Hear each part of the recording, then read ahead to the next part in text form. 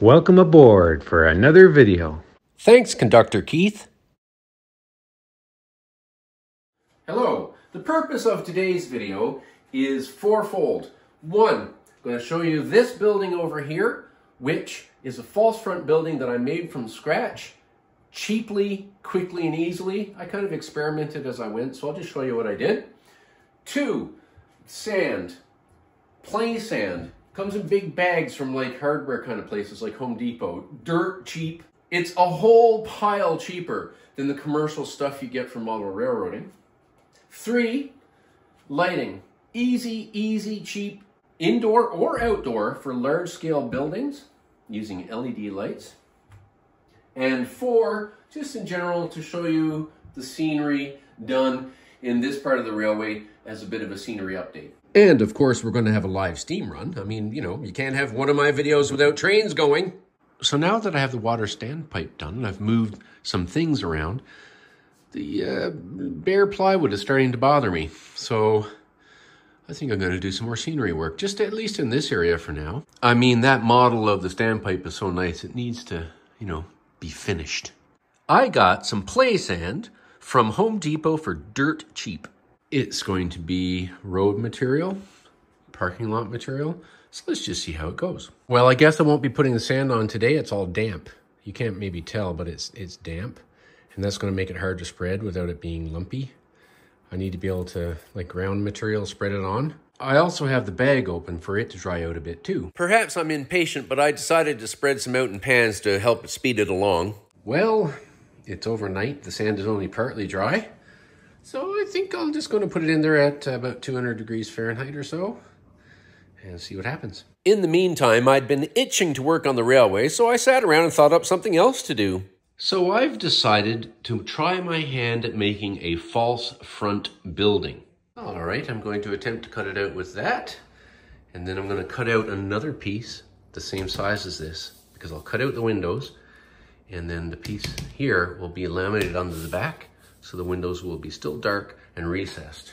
And yes, I'm sure other people have done this, uh, but I'm making it up as I go. So let's see how that comes together. That'll be there, will be glued on to there, okay?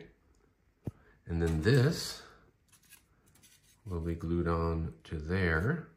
I got that at the dollar store for literally a dollar fifty. Canadian. Now I know people can make these with their 3D printers. Um, I don't have one yet, so I'll just have some fun until I can get one. All right, so there you have it. I chose clamps that had a very light squeeze. I'm going to use coffee stick stirrers, which I'll cut with my cutter, and start to frame the thing out before painting it. All right, so this has been in the oven for a couple of hours at 250 degrees Fahrenheit. It seems dry. It's, I've had the door open and cracked let it cool off, and yep, now I can powder it, see? Now I can powder it. That's nice. During that couple of hours, I opened the door a couple times to let the moist air come out. I don't know if that was necessary. But anyway, um, this seems to be successful. When I lived on Vancouver Island, I used to be able to source this stuff uh, for free, but um, I have not found a good spot with uh, really good stuff like this here. Now that it's dried, it, it came out a bit clumpy. But you can break the clump. Okay, Lord Michael's having too much fun. So I've built a jig here because uh, the wooden pieces, the long wooden pieces, tend to warp when they're wet. So of course I globbed on the glue, put them on the sides here. You can see side there.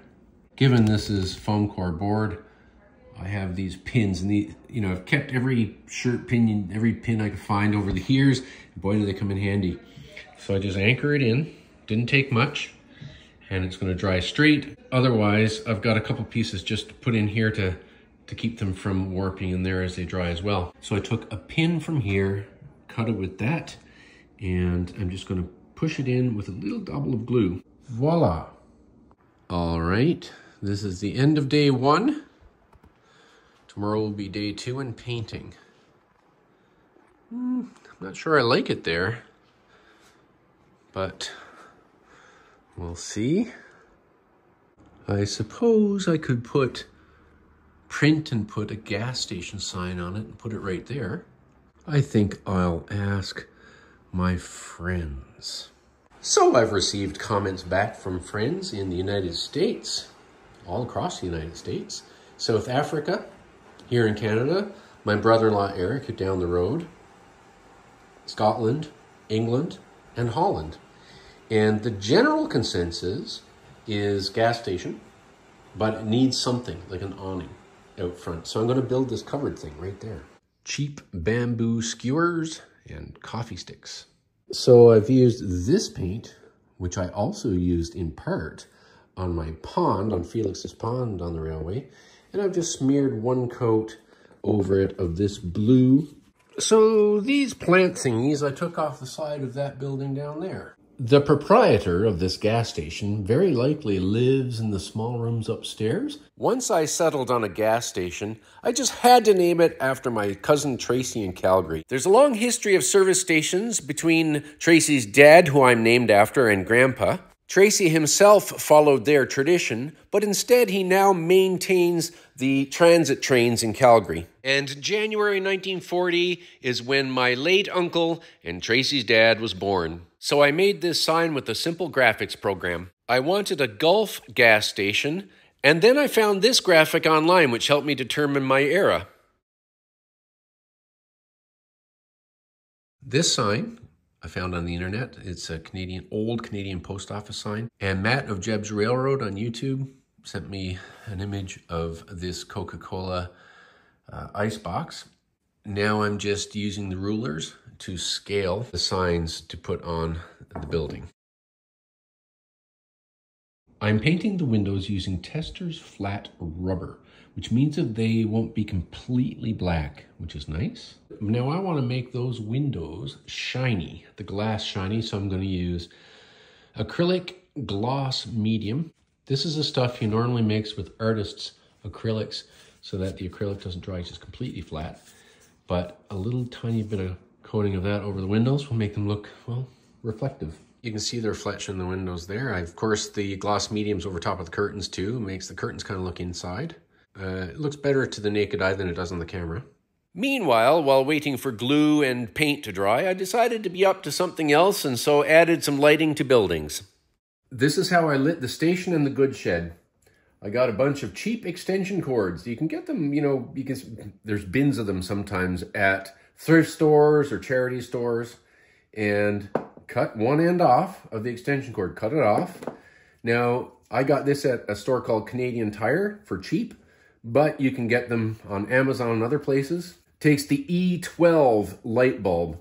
So you take your cut end and you screw it on here. What I did was I took the part that had writing on it and I screwed it to the positive post in the middle. And then, because you know LED light bulbs are directional.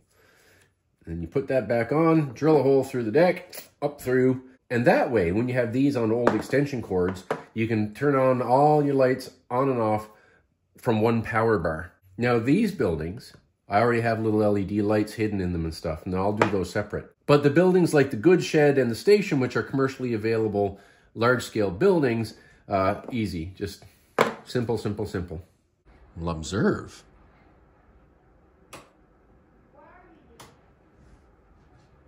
One day I'll probably do a full interior of the train station before placing it down over the light, but now this is just temporary so that when the trains pass by and we're standing here watching, it looks like there's something in there. And now I'm just gonna use some of this, just construction paper to make some window shades.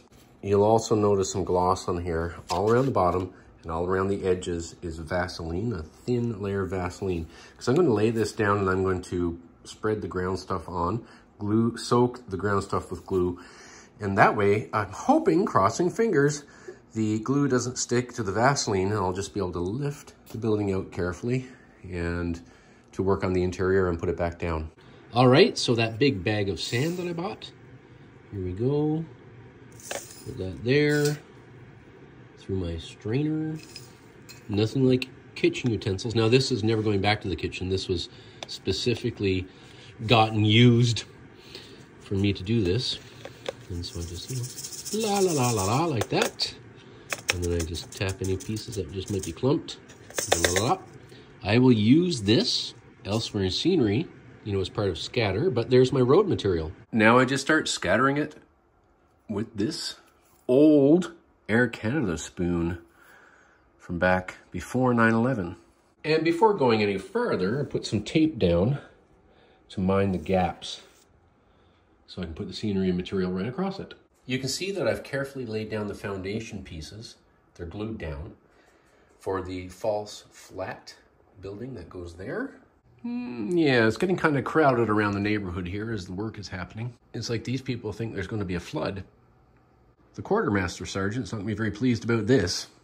All right, so I've spread the dirt as far over that way as it can go because the warehouse still has to be built and the, the dock right here. I'm just here spreading the glue, water, washing up liquid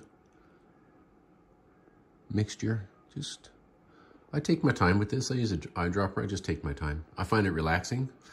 And once I've scattered around all the stuff you see is wet there, it's just gonna soak it all in.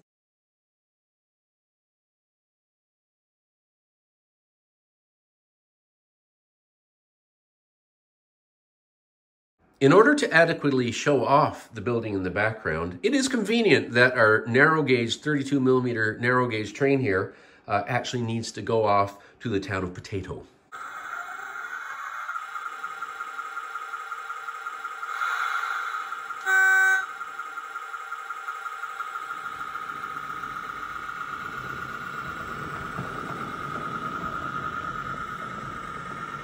It'll look good when that wall has a painted backdrop.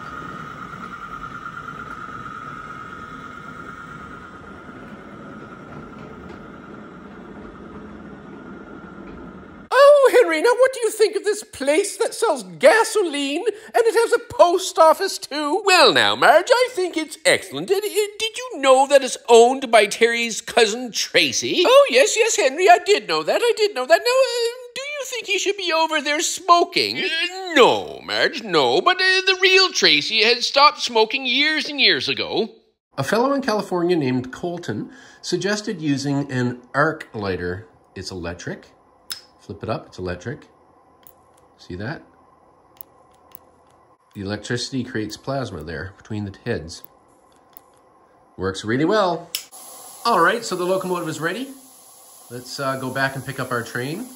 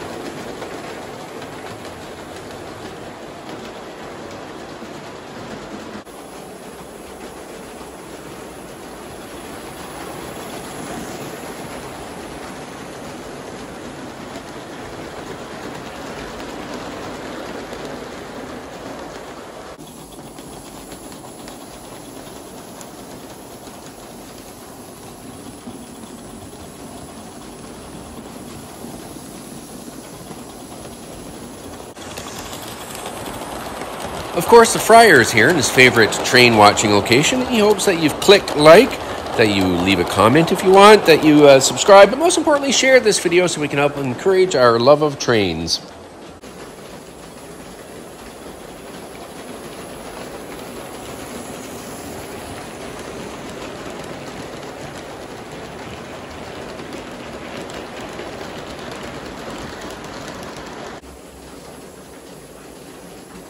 Somewhere in a previous video, I show how I added the headlight to this locomotive.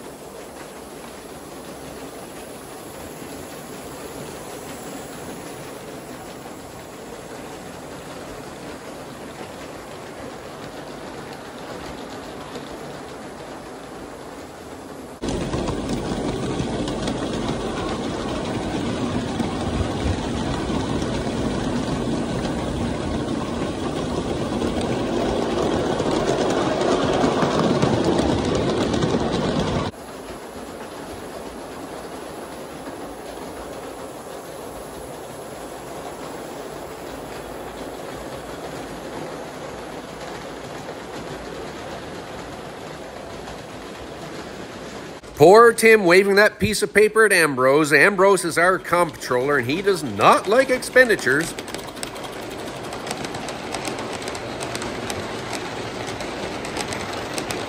Mike Hamer was here operating trains with me recently, and he said, he made the comment that he's operated on layouts that just have plywood, and if the operating scheme is realistic, it's still, you know, the imagination takes over, and that's absolutely true. However, I do think it's nice to have some scenery in this area now, so that it looks nice and realistic when the train comes to pick up rail cars.